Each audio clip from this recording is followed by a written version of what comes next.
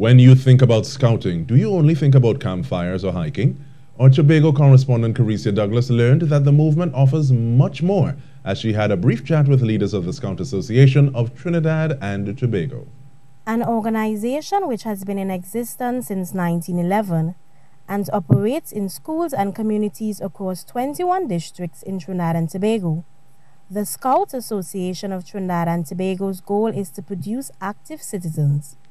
Though the pandemic has halted their face to face activities, their programs are now being held virtually.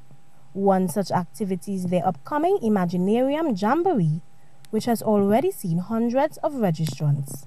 Participants will have so many activities to choose from, and there will be a mix of live activities where they need to be um, online and be involved in an interactive session. And there will also be guided sessions that they will do at home with their parents. Right? Because the, the concept is that we don't want to dictate to young people what they should do with their time right we provide them with as many different options that as, as we can that, that we can facilitate and they can pick what interests them and, and they will design their week of camping activities along their own particular interests a virtual 5k various youth advocacy science and innovation and recycling programs have also taken place during this pandemic period but in addition to their programs, the Scout movement has reached out to assist in the nation's vaccination drive, with over 100 volunteers providing support at numerous sites across Trinidad. We usher in the persons, we manage the traffic flow, we manage the flow of the patients to the to the vaccination point from the from from the time you get there till till you leave. We assist with with the, wheelchair process, wheeling people in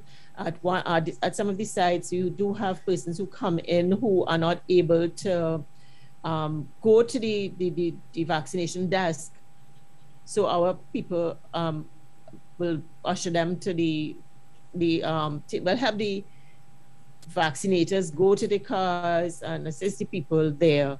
The National Scout Commissioner is encouraging past members to follow the example of Mr. Joseph Archer, the oldest scout in Trinidad and Tobago.